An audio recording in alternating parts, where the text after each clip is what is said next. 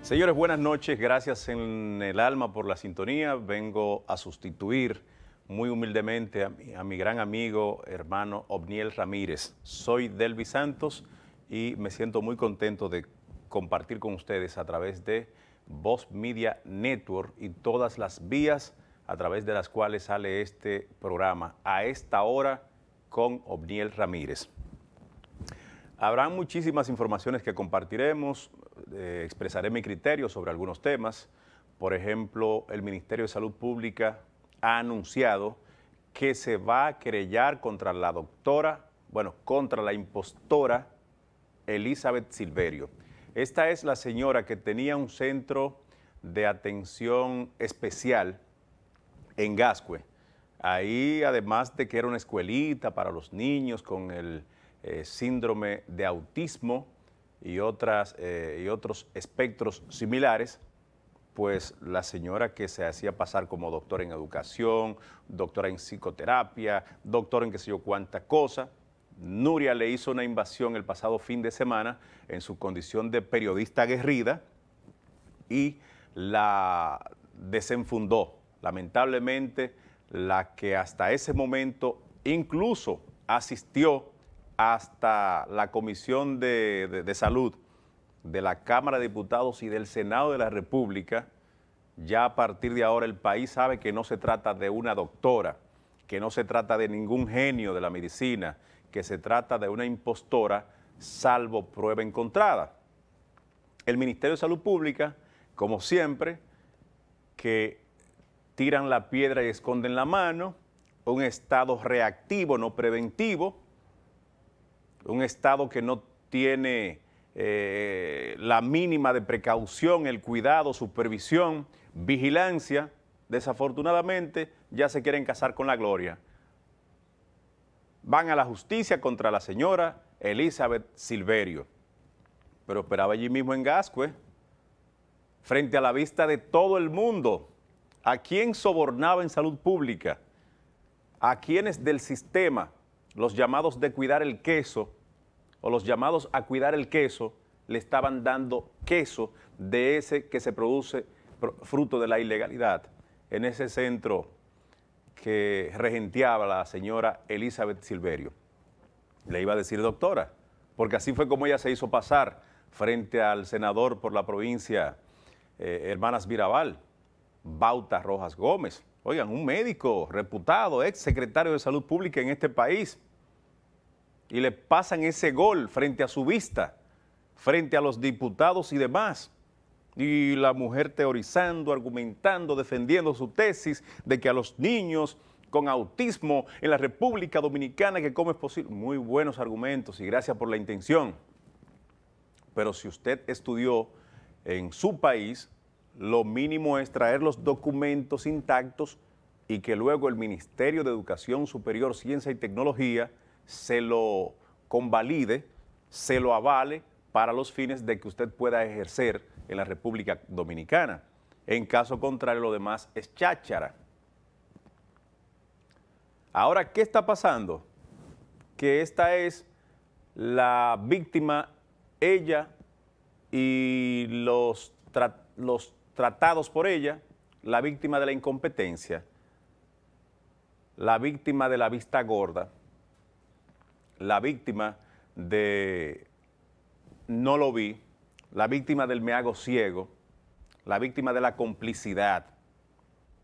Porque ¿cómo es posible que frente a la vista de todos, esta señora en el centro de la ciudad, a 30 metros del Palacio Nacional, que hay respeto, tenía un centro para atender a personas con situaciones especiales como el síndrome de autismo en la República Dominicana. Las personas con el, eh, que, que rondan en torno a la condición del espectro autista. Qué cosa tan delicada.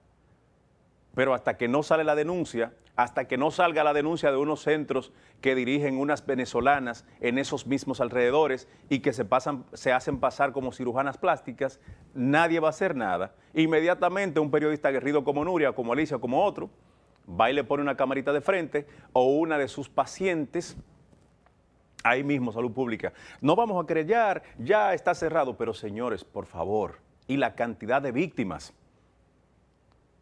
En la República Dominicana, la cantidad de personas que mueren cada año producto de la mala práctica en las cirugías plásticas, por ejemplo, eso no tiene perdón de Dios, en complicidad con la vista gorda de las autoridades. Gente que se hace pasar como cirujano, que se hace pasar como ginecólogo. Unos cubanos que vienen e instalan clínicas en todo el territorio dominicano y no homologan títulos ni nada y dicen que han sido genios de la medicina en Cuba y no han hecho nada. Lo que hacían era que trabajaban en una finca como obreros y aquí se hacen pasar como médicos y no solo como médicos, como especialistas y le cobran una millonada a los pacientes. Ah, no. Ya a la doctora Elizabeth, a la señora Elizabeth Silverio, Nuria la denunció y ahora el Ministerio de Salud Pública va a la justicia, se va a querellar por daños, perjuicio, el diablo. Señores, vamos a actuar un poquito con precaución. La mejor medicina a propósito de temas médicos es la prevención. Ya la cantidad de familias a la que se le hizo daño en ese centro, haciéndole creer una cosa y era otra, no se van a resarcir a propósito o a partir de una sanción legal. El daño está hecho. ¿Y quién lo autorizó? ¿Quién lo permitió? El Ministerio de Salud Pública, que es el ente llamado a regular ese tipo de barbaries contra una ciudadanía incauta como la que tenemos en la República Dominicana. Y me da mucha pena escuchar que luego de la denuncia muy responsable de Nuria que le hizo un, se le tiró como un SWAT allá en el, en el despacho, en su consultorio, póngale comillas, porque de repente esta doctora así mismo estaba mandando a, a comprar, de repente estaba medicando, estaba haciendo sus recetas. ¿Dónde están las farmacias? que recibían esas recetas de esta doctora. Cuando la propia ley que rige el sistema de salud en la República Dominicana establece que hay un protocolo para eso. Ni siquiera los psicólogos pueden medicar. En este país no se puede, hay, una serie de reglamentaciones que hay que cumplirlas. Pero un país donde promese cal hace aproximadamente 10 años le compraba un falsificador en Villa Altagracia, ese era su principal suplidor. Cualquier cosa puede pasar. O sea que el Estado le estuvo comprando, se estuvo supliendo como principal fuente de abastecimiento en sus farmacias populares de una persona que se dedicaba a fabricar medicamentos falsificados. Es muy posible también que funcionarios del Ministerio de Salud Pública institución llamada a regular el sistema de salud en nuestro país, habían llevado a sus niños al centro de la doctora, de la genio de la medicina, Elizabeth Silverio. Qué lamentable que hayan permitido que la sangre llegara al río en términos configurados para tomar las medidas correctivas del lugar. El Estado no puede ser un ente eh, reactivo, el Estado tiene que ser un ente preventivo, máxime cuando se trata de temas relacionados con la salud, porque desafortunadamente una ciudadanía incauta se pone en las manos de cualquiera. Aquí va un tal Cristian Casablanca y otro carajo avivato a los medios de comunicación a dar números y la gente, además de que le escucha sus barrabasadas en los medios, va a sus oficinas para que ellos le digan el número que va a salir más adelante y por ese concepto, bajo la anuencia de las autoridades llamadas a regular ese tipo de cosas, estos tipos se hacen millonarios. Pero hay un carajo llamado Mantequilla que en una empobrecida comunidad de Monte Plata se inventó una, un esquema de negocio a través del cual se buscó más de 150 millones de pesos. Pero hay un sindicalista que está activo aquí y que de repente esté viendo este video que durante el régimen danilista se inventó que le iba a cambiar una flotilla de vehículos a los transportistas y a sus familiares, concepto por el cual el tipo se buscó más de 100 millones de pesos. Y en las comunidades solo se escuchaba carros a 500 pesos, carros a 500. Y como el dominicano todo lo quiere fácil y rápido, de una vez dijo, no, yo no te voy a dar 500, te voy a dar 20 mil para que el mío me lo busque con más lujo, un poco más rápido, y uno para mí, y uno para mi esposa, y uno para tal fulano. Por ese concepto, ese ciudadano, cuyo nombre ni siquiera voy a citar porque él sabe muy bien de quién se trata, se buscó un dineral. Y nadie se ha querellado contra él. Mantequilla está preso porque la Procuraduría lo persiguió luego del desastre económico al que sometió a decenas de productores en Vallaguana, a par de kilómetros de esta ciudad. Entonces creo, señoras y señores, que al Estado hay que ponerlo a funcionar de manera preventiva, porque si no, desafortunadamente, casos como los de la señora impostora Elizabeth Silverio y otros tantos los vamos a ver cada día.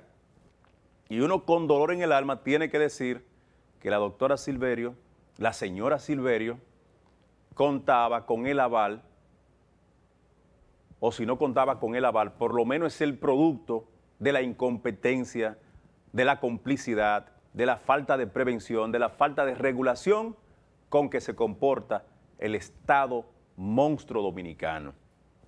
Y eso siempre va en detrimento de las condiciones de vida del pueblo. Porque, por ejemplo, Anderson Humor, que salió y, con mucha pena dice, yo le estaba, eh, Anderson no, eh, León de Osorio, yo le llevaba a mi hijo a ella. Y en vez de desagradecerle, yo estoy muy agradecido porque aunque yo no sabía el daño que le estaba provocando a mi hijo, era el lugar donde yo me sentía más a gusto porque lo atendían con amor, le daban el servicio, nos cobraban poco, teníamos que desplazarnos a larga distancia. ¿Por qué? Porque los centros que se construyeron para eso, lamentablemente no están funcionando.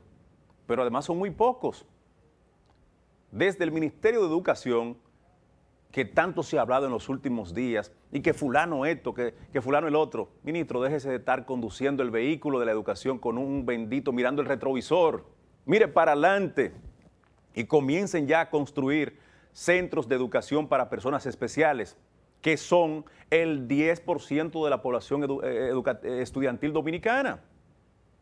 Y ahí hay dinero para eso y mucho más. Este mismo año, a mí me luce que más del 40% de los fondos del Ministerio de Educación van a quedar ahí vacantes, ociosos, falta de uso, porque lamentablemente lo que se observa es que se está conduciendo el vehículo de la educación durante esta gestión por lo menos, mirando el retrovisor. Sáquense la fascinación de que tienen que hacerle la vida imposible al más humilde de los ministros de educación que hemos tenido, proveniente de la rancha, Roberto Fulcar Encarnación. Ya sáquense eso de la cabeza y comiencen a ejecutar un plan acabado que él le dejó ahí, que él y su equipo le brindaron, le ofrecieron al país. Y ustedes por estar conduciendo ese vehículo, mirando al retrovisor, mirando al pasado, y que yo cancelé a este, y que yo cancelé a aquel, y que yo cancelé al diablo, que yo... Ya, olvídense de eso. Y que los profesores son los culpables, y que el otro no es un asunto de culpabilidad. Los culpables del desastre educativo, del desastre de salud, del desastre en la cultura, del desastre en los deportes, son todos los que han gobernado. Pero este es el momento de comenzar a pagarle al pueblo dominicano por lo menos el 1% de una mora acumulada durante décadas en esos aspectos de la vida diaria. Vamos a hacer una breve pausa y a continuación venimos con más. A esta hora con Omniel Ramírez.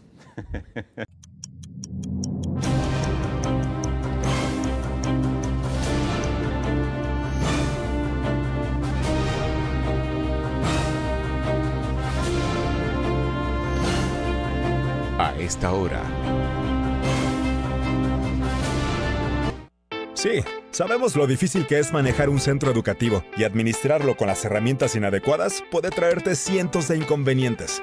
Lidiar con admisiones, finanzas, calificaciones, registros y avisos suena como una tarea complicada. Sin embargo, todo esto y más puedes resolverlo de forma sencilla y rápida gracias a SAS. Con SAS, todas tus operaciones educativas y administrativas se vuelven más rápidas, eficientes y seguras. Conecta a tus docentes, personal administrativo, padres y estudiantes en una sola plataforma y gestiona todos sus procesos de forma ágil y automatizada. Cualquier persona puede manejar la plataforma gracias a su diseño amigable e intuitivo. Y si necesitas ayuda, cuentas con un equipo de soporte especializado en tecnología y educación. Que la dinámica del Ministerio de Educación no sea una preocupación para ti. SAS está diseñado para escalar y evolucionar junto al sistema educativo nacional. Un sistema de gestión académica para una nueva generación. Al fin de cuentas, de eso se trata, de dedicarse a enseñar. El resto, déjaselo a SAS. ¿Listos para empezar? La televisión llegó a nuestras vidas. Inició sin color, pocos sonidos, pero llena de emociones. La calidad de la imagen evolucionó junto a nosotros. Rompió todos los esquemas de lo que parecía posible. El mundo continúa evolucionando. La televisión también. Brindándote las mismas emociones de siempre, ahora en la palma de tu mano Win TVO, televisión en línea gratis, donde quiera que estés. Las informaciones más relevantes en los Estados Unidos y el mundo. Estados Unidos. Por la frontera de Canadá. En el documento del secretario. En El Mundo al Día. Informaciones. Hasta mil migrantes. Entrevistas. De alguna manera dar una apertura. Reportajes. Se ha hecho en la historia del país. En vivo, desde Washington para todo el planeta. El Mundo al Día, de lunes a viernes a las 2 de la tarde Vívelo por Voz Media Network. En mi Cristo yo todo lo puedo. Conciertos. Videoclips. Videoclips. Prometo devolverte tu voz. Dime por qué si me amas. Besito de cajeta, de cajeta,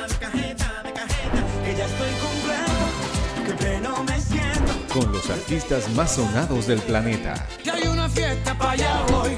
Pásala bien, de lunes a viernes a las 3 de la tarde, en Voz Music. Vívelo por Voz Media Network. voy. El mundo. Sus complejidades. Cultura. Datos curiosos. ¿Te suena raro todo esto? Te invitamos a que conozcas más en Documentales VMN. Vívelos por Voz Media Network.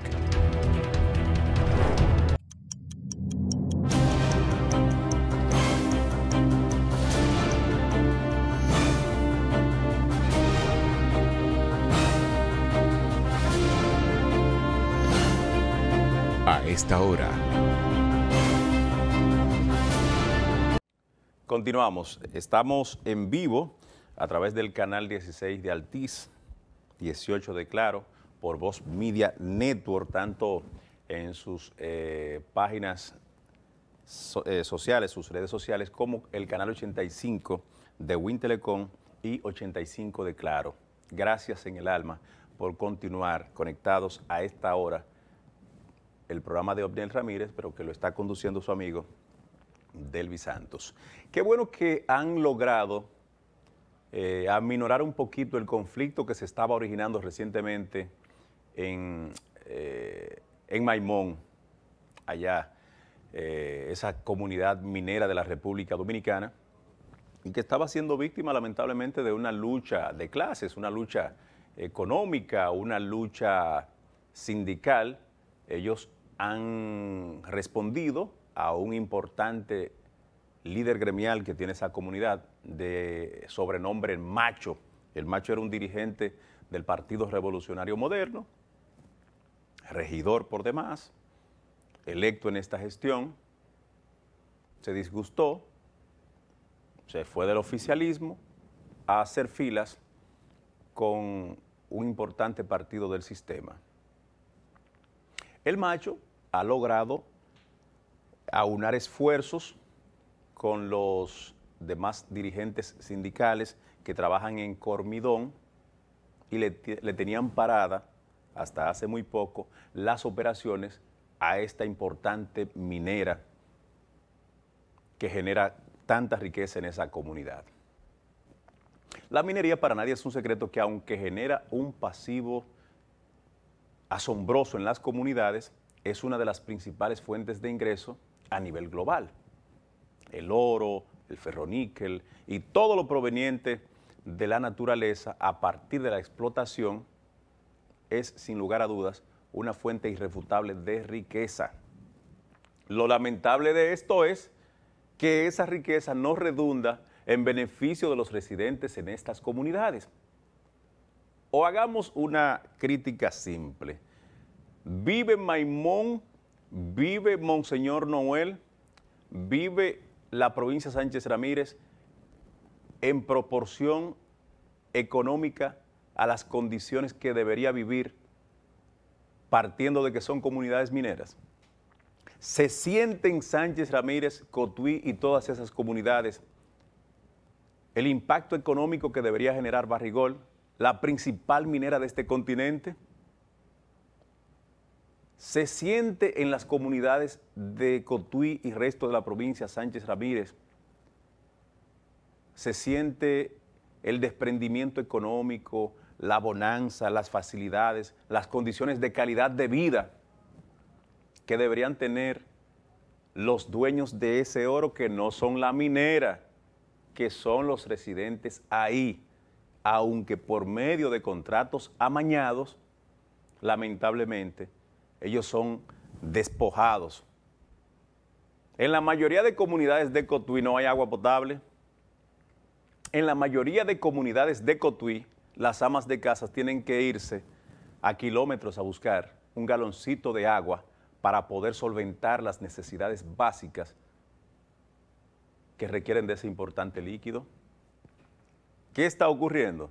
Que el Estado los está cubiando, la complicidad les está permitiendo sacar el oro, llevárselo a otro lugar del mundo y lamentablemente lo que dejan es un residuo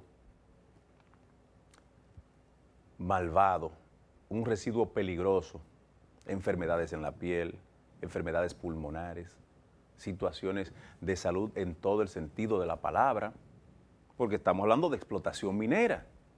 Por supuesto que en cualquier lugar del mundo, a pesar de lo tecnificado que está el sistema, lo pueden sacar hasta con robot. Y para extraer minerales preciosos hay que generar un daño a la naturaleza y por, como vía de consecuencia le estamos generando daño a los seres humanos, que son parte también de la naturaleza, aunque a veces nos hacemos los locos. Entonces yo quería hacer ese pequeño, eh, detenerme de manera breve ahí, para destacar el hecho de que la República Dominicana lamentablemente ha sido víctima de sus contratos.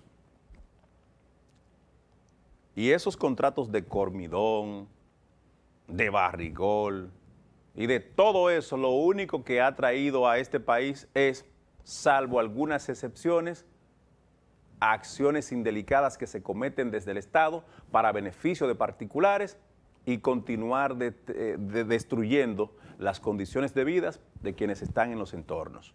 Y por eso estuvimos marchando, haciendo guardia, de honor, reclamando insistentemente junto a nuestro amigo el padre Rogelio Cruz para que no explotaran Loma Miranda.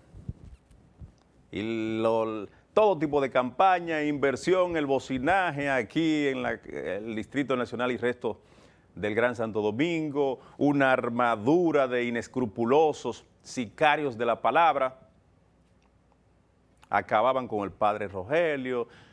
Esos intereses está impidiendo que llegue el desarrollo a La Vega, está impidiendo que siga el desarrollo en Bonao. Yo digo, ¿cuál desarrollo, hombre? Si en Bonao los colmaderos tienen que, tienen que vender con verjas puestas porque los, niveles de miseria con que se vive allá, lamentablemente, eh, han incrementado los índices delincuenciales en los últimos 20 años a partir de la explotación. ¿Es mala la explotación? Por supuesto que no. Lo que es malo es la forma como se apandillan estos tipos desde el Estado Dominicano, entiéndase Ministerio de Medio Ambiente, Ministerio de Energía y Minas, Dirección General de Minería y otras instituciones que tienen que ver con eso. Y son tan desprendidos que le entregan inclusive el 97-3, como ocurrió con la Barrigol. Eso es lo malo. Si a Cotuí y resto de la provincia Sánchez Ramírez, a Monseñor Noel y resto de Bonao y demás, le dejaran por lo menos el 10% de los beneficios que producen sus explotaciones mineras, estuviéramos hablando de potencias en este país. Comunidades que tuvieran hospitales preparados, escuelas listas para continuar, buen servicio en, eh, en las vías de comunicación, no hubiera tanta delincuencia, no hubiera tanta miseria. Lo que está pasando es que lamentablemente el dame lo mío y me olvido de todo ha ido en detrimento de la población. Igual que ocurrió con el peaje sombra. El tema del peaje sombra fue después del de la Barrigol, el contrato más pecaminoso que se ha firmado en la República Dominicana. Eso fue algo desastroso. Construir 105 kilómetros de vías por un costo de 10 mil millones de pesos e inventarse una cláusula abusiva tipificada como, tipificada como peaje sombra, por medio del cual el gobierno se veía obligado a entregarle entre 2.000 a 2.500 pesos al año, producto de que los vehículos que contemplaba la empresa para que transitaran no pasaban por ahí, por el alto jodido precio de los peajes. Eso fue algo totalmente pecaminoso del 2013 al 2023, solo el gobierno del presidente Danilo Medina le, reconoció y le entregó 26 mil millones de pesos a estos abusadores que construyeron la carreterita esa que comunica de Santo Domingo a Samaná. Pero más adelante el presidente de la República, Luis Abinader, justamente en, el 9 de diciembre del año 2021, le reconoció pagos por 410 millones de dólares el equivalente para la ocasión a 22.600 millones de pesos. Estamos hablando que del 2013 al 2021 a esta gente se le reconoció algo menos de 48.600 millones de pesos por una inversión de apenas 10 mil millones de pesos. Pero estamos hablando solo por pago desde el Estado porque este es un Estado desprendido cuando hay que eh, negociar con los capitalistas. Aquí sí somos garantistas cuando se trata de los ricos. Pero nos olvidamos que estos abusadores cobraron durante 12 años ocho estafetas de peajes, ida y vuelta, cada minuto. O sea, ese contratico firmado eh, por las tres gestiones pasadas, y que también fue tocado por esta gestión actual, le entregamos algo menos de 55 mil millones de pesos en apenas 12 años. Eso es un verdadero abuso lo que ocurrió con esa autovía Santo Domingo-Samaná. A eso hay que dejarlo sin efecto y estamos proponiendo que si le van a cobrar a los residentes en Las Terrenas, el Limón, Arroyo Barril, Las Galeras, Sánchez y el municipio cabecera Santa Bárbara de Samaná, que sea una sola vez, porque a pesar de que el Estado Dominicano les ha regalado a los concesionarios fantasmas, porque son los mismos políticos malamaña que andan rondando las calles de este país, le entregó el Estado aproximadamente 55 mil millones de pesos por concepto de peaje sombra y por la negociación motrenca que se hizo en diciembre del 2021 en esta gestión, estamos hablando de que al día de hoy todavía, sin peaje sombra, con la rescisión del contrato, los residentes en Samaná están pagando el peaje más caro del país. Y ese maldito abuso tiene que parar ya. Y un gobierno de cambio como el que encabeza el presidente Luis Abinader no se puede dar el lujo de que los residentes en Samaná, Nagua y demás comunidades pagan 10 veces más peajes que los residentes en la zona este del país, que son ricos, que estamos hablando de un turismo que genera riqueza. El 77% del turista que llega a la República Dominicana se queda entre Bávaro, Punta Cana y La Romana. Después el otro grupito se va a Puerto Plata, a Samaná y demás. Entonces, ¿por qué cobrarle ese peaje tan costoso a esos infelices El residente en Vallaguana, que viene a, la, a, Boca Chica, tiene que pagar 800 pesos de peaje. Sin embargo, el residente en, en Santo Domingo Este, que se va a desplazar 177 kilómetros hacia Bávaro, Punta Cana, solo tiene que pagar 360 pesos de peaje. Y al día de hoy hay gente que desde el Estado defiende eso, porque se olvidan que al Estado no se va a maltratar a la ciudadanía. Es todo lo contrario, presidente, deje eso sin efecto. Quítele ese jodido peaje a los residentes en Monteplata, residentes en Samaná, residentes en Nagua y resto de la provincia María Trinidad Sánchez. Porque aunque no se vea, la gente está atenta a haberle regalado 10, eh, 410 millones de dólares en el 2021, el equivalente a 22.600 millones de pesos, luego que habían cobrado 26 mil millones de pesos por concepto de peaje sombra, fue un abuso, eso fue demasiado. Pero que al día de hoy, a pesar de ese regalo que le hemos entregado, el Estado les está cobrando a los residentes en Samaná, Las Terrenas, El Limón, Arroyo Barril, Las Galeras, Santa Bárbara de Samaná, Nagua y resto de la provincia María Trinidad Sánchez, el peaje más costoso en todo el territorio dominicano. O sea, esos que viven para allá no son dominicanos, los nagüeros no son dominicanos, los amaneses no son dominicanos. Están pagando 10 veces más peajes que los residentes en el resto de la República Dominicana. Usted se traslada de Santo Domingo a Jarabacoa, 114 kilómetros, y paga, ¿sabe cuánto? 60 pesos de peaje. Pero usted se desplaza de aquí a Pedernales, zona sur de la República Dominicana, y paga 60 pesos de peaje allí en pintura. Pero se desplaza de aquí a San Pedro y paga 60 pesos de peaje. Una sola vuelta. ¿Y por qué entonces a los residentes en Nagua, en las terrenas, en el Limón, en Arroyo Barril, en las Galeras, en el municipio Santa Bárbara de Samaná y esa zona del país, les están cobrando ocho estafetas de peajes, ida y vuelta? Eso no son dominicanos, eso no le duele a nadie. Eso no nacieron por donde nació el resto de los dominicanos. Y nosotros hemos dado la, la cara con eso, hemos estado buscando apoyo, en las próximas horas se puede generar una situación que yo como compromisario de este gobierno me encantaría que, sea, eh, que no sea necesario, porque ahí hay condiciones más que palpables para que los residentes en esas comunidades del país no sigan siendo sometidos a un abuso, a un sangrado económico como el que están siendo sometidos, por ejemplo, los transportistas.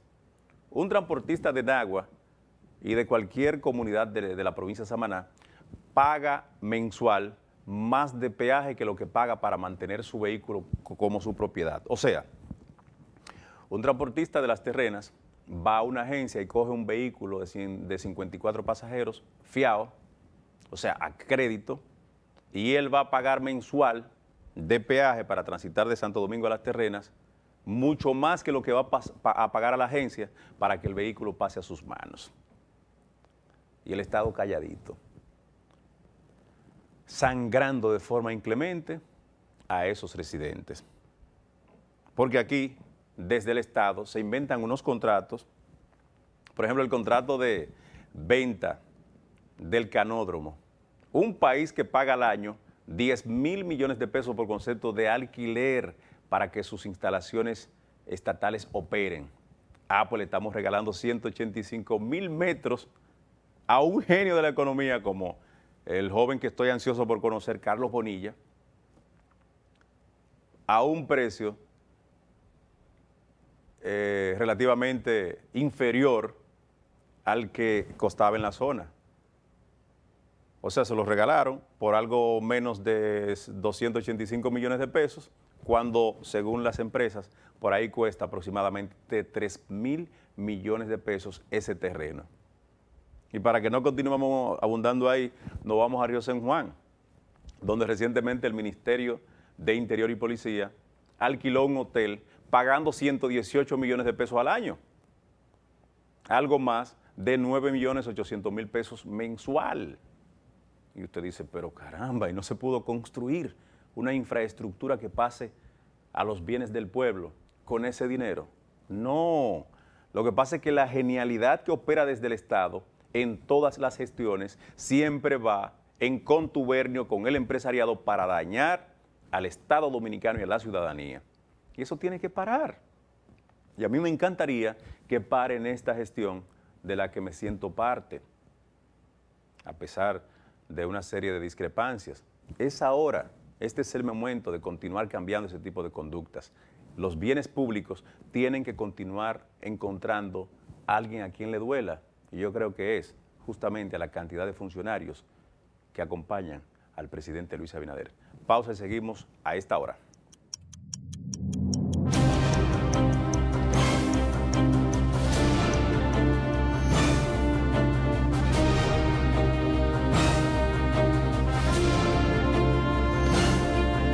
A esta hora. Sí, sabemos lo difícil que es manejar un centro educativo y administrarlo con las herramientas inadecuadas puede traerte cientos de inconvenientes.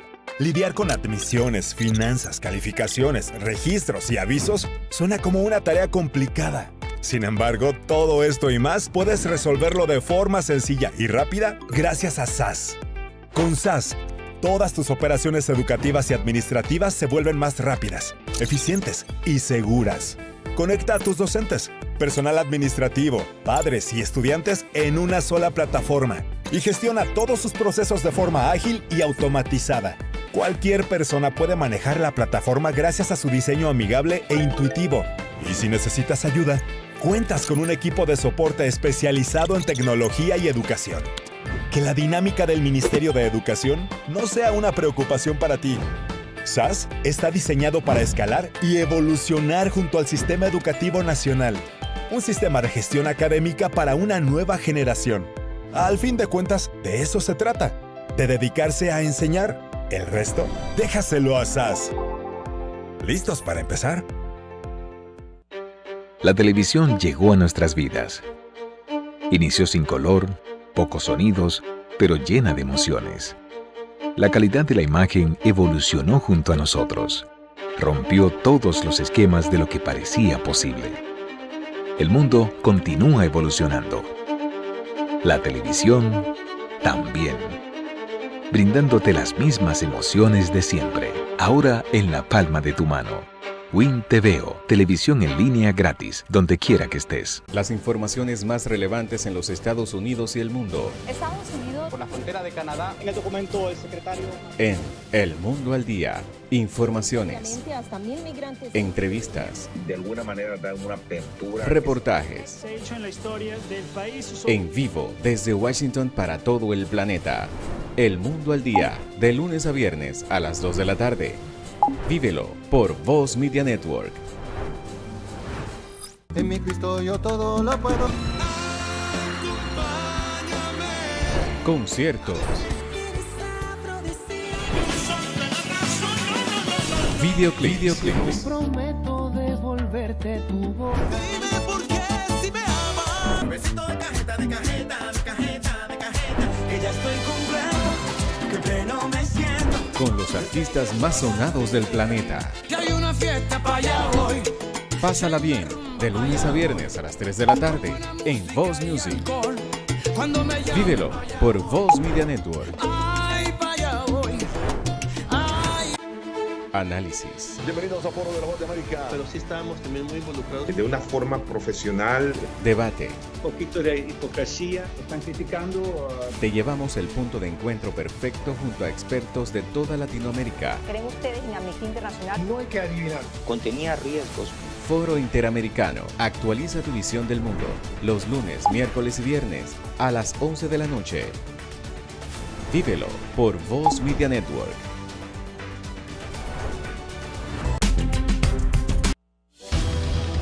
El mundo. Sus complejidades. Cultura. Datos curiosos. ¿Te suena raro todo esto? Te invitamos a que conozcas más en Documentales VMN. Vívelos por Voz Media Network.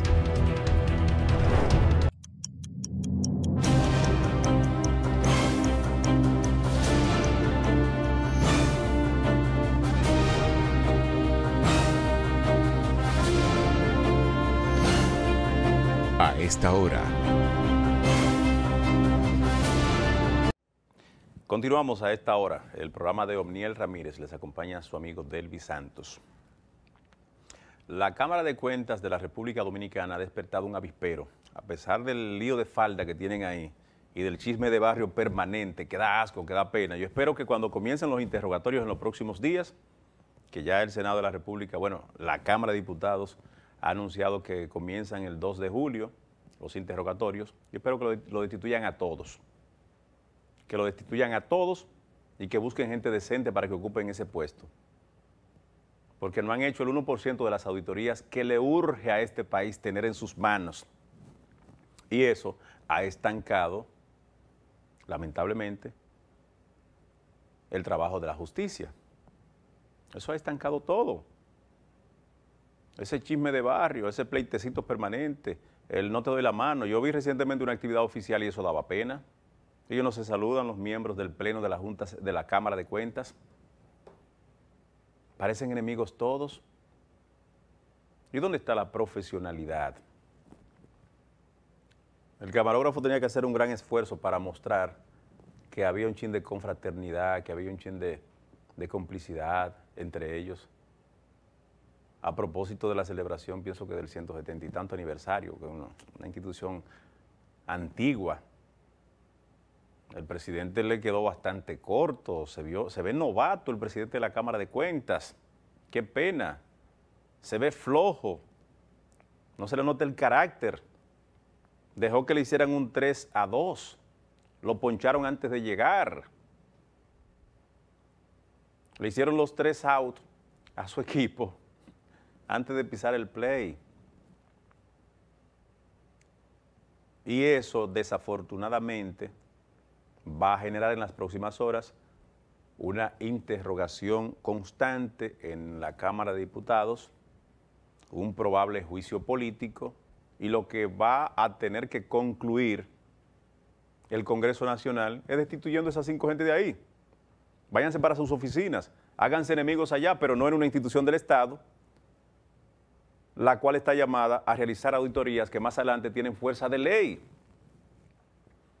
O sea, cuando un juez recibe en sus manos una auditoría acabada de la Cámara de Cuentas, está recibiendo un documento definitivo por medio del cual simplemente va a dar interpretación y a comparar con el Código Penal y a verificar cuánto es que le toca al angelito que eh, hizo las astrocidades que casi siempre se, se contemplan en las auditorías que le hacen a funcionarios aquí. ¿Y usted cree entonces que una función tan seria como la de auditar en un momento como el actual puede caer en manos de cinco gente que tienen un chisme de falda primero, luego un pleitecito permanente, después el presidente de la Cámara de Cuentas dice que él es un preso de confianza, que lo tienen eh, atado de pies y manos, que la mayoría de las decisiones que toman es una minoría simple la que lo aprueba, lo que lo aprueba el 3 a 2. Y uno dice, pero no, no podemos continuar que una institución antigua como la Cámara de Cuentas haya caído en manos de peledeístas a los cuales estamos llamados a auditar. ¿Por qué fueron ustedes los que dirigieron el Estado durante 20 años de manera semiconsecutiva? El país tiene que saber qué fue lo que se hizo en el Ministerio de Hacienda. Por fin, aunque la señora Tomasina eh, Tolentino de Mackenzie trabajaba ya en un importante departamento, pero deslinde su función señora. Eso fue en, la pasada gestión que usted fue empleada de Donald. Ahora no, usted es empleada ahora del país. Bueno, en aquel momento era empleada del país, pero su, su jefe superior era el señor Guerrero. Y en este momento, siendo miembro del máximo órgano auditor llamado a auscultar las actividades que realiza cualquier funcionario, tiene que ejercer una función un poquito más transparente a favor del país, porque la información que circula desde los pasillos de la Cámara de Cuentas es que las manos políticas de las pasadas gestiones están acariciando de forma permanente a gente que forma parte del Pleno de la Cámara de Cuentas. Y eso es más que suficiente para que se produzca un juicio político e igual que ocurrió con la Cámara de Cuentas cuando la dirigía Andrés Terrero, destituirlo a todos. Y si posible mandarlo a la justicia, porque ahí se está cometiendo acciones indelicadas por omisión.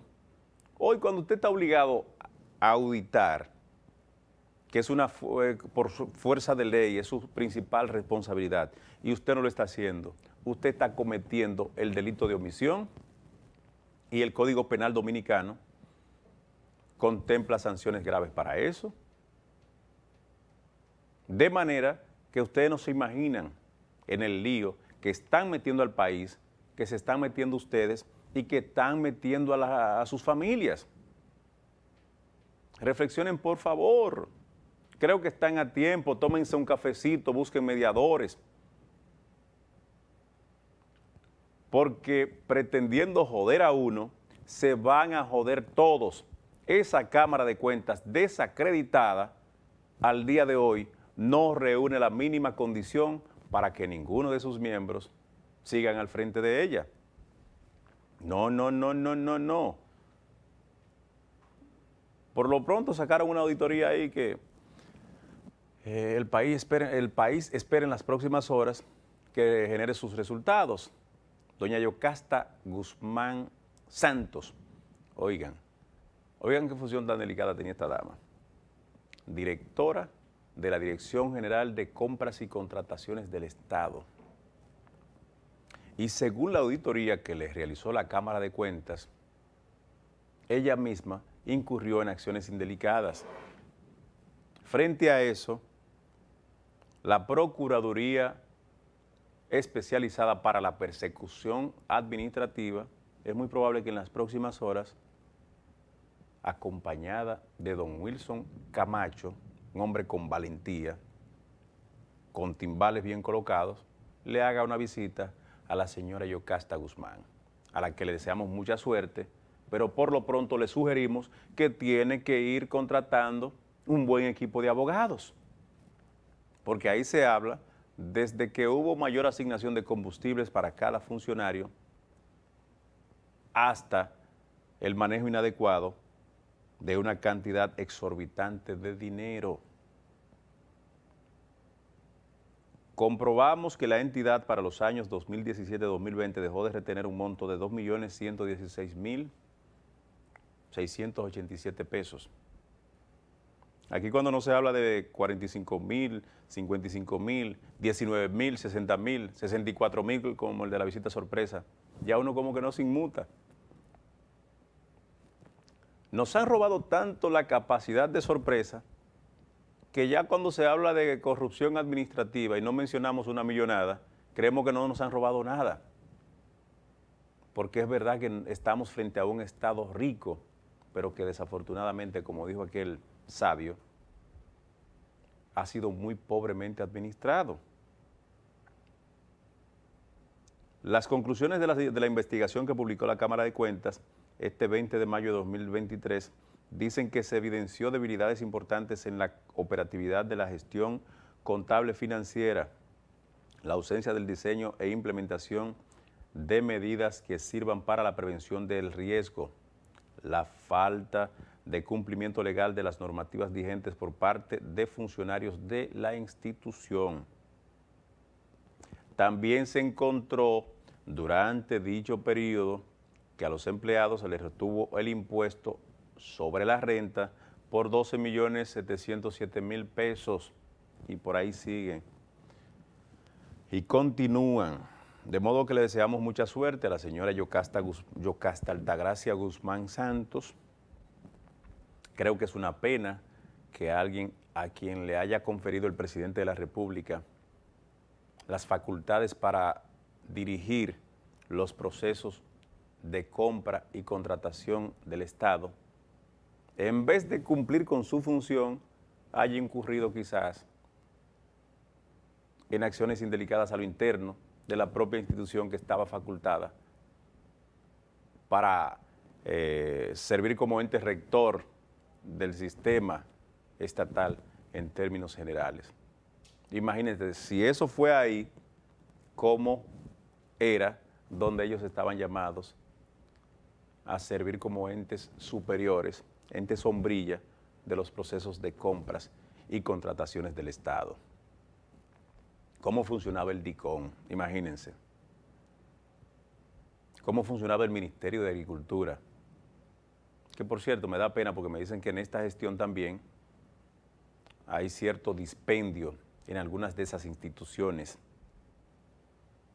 Y uno que hizo tanto esfuerzo para ganar el derecho de gobernar este país por el camino de la decencia, siente tanta pena cuando ve que se está caminando sobre la misma huella de la indelicadeza, de la corrupción en algunas instituciones del Estado, a pesar de que hemos tenido del 16 de agosto a la fecha un sustancial aumento respecto de los procesos de compras y contrataciones, transparentando, vigilando, auditando, verificando, impidiendo, porque es que la mejor medicina es la prevención. A mí no me venga con que fulano de tal compró una pintura mal comprada y después la Cámara de Cuentas dice que eso estaba mal. Usted tiene que verificar y no dejar que lo compraran. Que Tony Peñaguaba le regaló 100 millones de pesos a los artistas y ahora la Cámara de Cuentas dice que eso estuvo mal. Sí, pero ¿y dónde estaba la Dirección General de Compras y Contrataciones? Porque ustedes son para eso. Y aquí no hay forma de sacar 10 pesos desde el Estado sin antes someterse a un proceso totalmente riguroso en el que tiene que participar la Contraloría General de la República, Dirección General de Compras y Contrataciones, hasta la Dirección General de Éticas, todo el mundo. Entonces a la señora Guzmán Santos le deseamos mucha suerte. Ojalá que cuando Jenny Berenice Reynoso y Wilson Camacho la vayan a visitar, esté preparada con un equipo legal, porque este país se hartó de que le sigan tomando el pelo y de que nuestro dinero vaya a las arcas particulares. Aquí el que no trabaja, que no coma. El que no realice su función de manera honesta, apegado a los principios éticos, hay que sacarlo desde el Estado, pero no solo cancelarlo, presidente. Hay que mandarlo al banquillo de los acusados, donde está Donald Guerrero, donde está el general Rubiú, donde está el general Castro, eh, Cáceres Silvestre, donde están las pastoras. Porque aunque tenemos una mora de justicia todavía, no es menos cierto que a partir de que doña Miriam Germán Brito y su equipo de fiscales han asumido las riendas de la justicia, por lo menos en la rama de la persecución, algo se ha hecho y se ha recuperado algo del dinero del pueblo. Si a este país le devuelven el 50% del dinero que se robó esa claque, se pueden pagar los 24 mil millones de dólares que ha cogido prestada esta gestión. Se pueden construir complejos habitacionales en los 158 municipios. Se pueden construir edificaciones para que opere el Estado en todo el territorio dominicano. Se puede construir, por ejemplo, un edificio gigantesco para alojar todas las instituciones públicas que pagan alquiler. Y yo sugiero que sea en los terrenos que de manera indelicada, por medio de actos dolosos, una importante dirección del Banco Central de la República Dominicana les regaló a un importante ministro de esta gestión. Esos terrenos del canódromo hay que recuperarlo. Y es en esta gestión en la que están haciendo silencio, ahí que se construya un edificio para alojar las edificaciones del Estado que no tienen espacio físico donde operar. Este país hay que adecentarlo. Olvídense de complicidad y de que fulano es, es blanquito y que me cae bien, que con ello hay que ser condescendiente. Con nadie. Al que se robó un peso de este país hay que meterlo preso por la guardia mon, como dicen en mi campo, allá en la culata de Constanza. Este país no soporta un robo más. Y lo que ocurrió en la Dirección General de, Compras y Contrataciones del Estado, todo aparenta indicar que lamentablemente no fue lo más sano ni lo encomendado por la pasada gestión del presidente Danilo Medina a la señora Yocasta Altagracia Guzmán Santos. Aunque por el momento solo se está presumiendo y nadie puede ser condenado sin ser escuchado, porque por lo menos el más elemental de los principios establece que hay que respetar el principio de inocencia hasta prueba encontrada y demostrada, rebatida y aplicada y luego sancionada por un juez de los tribunales dominicanos. Muchas gracias. Mañana nos vemos a esta hora, el programa de Omniel Ramírez, que conduce ahora su amigo Delvi Santos.